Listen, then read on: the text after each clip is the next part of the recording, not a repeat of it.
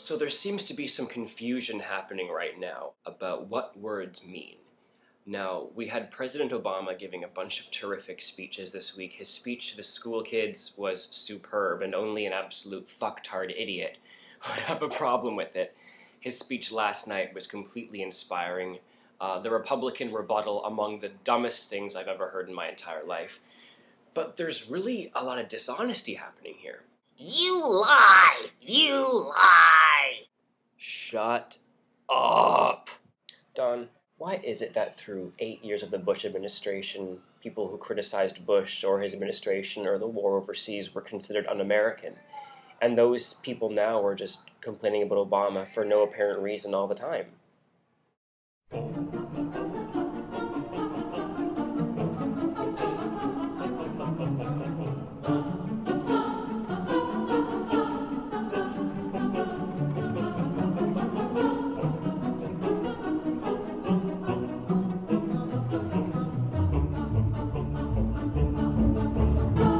I guess she's then suggesting that since she's clearly never studied anything in her life, that makes her an American.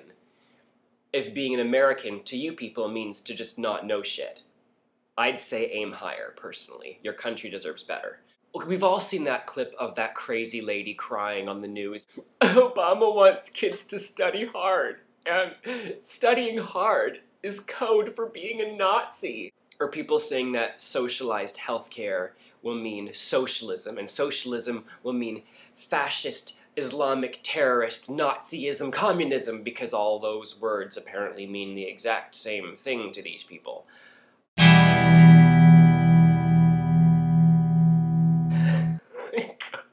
it's so maddening. God.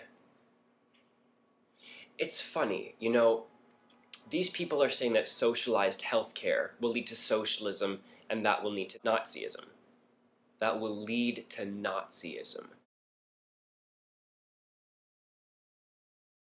But what have we seen in the last year? We have seen people in America ganging together to vote as a majority to deny an historically oppressed minority equal rights.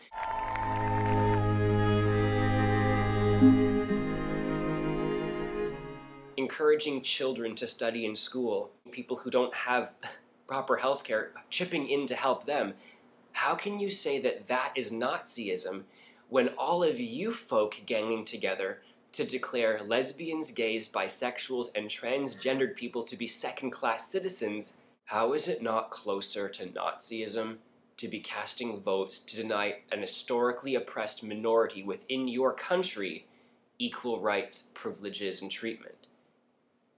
I don't get that. I don't get it at all.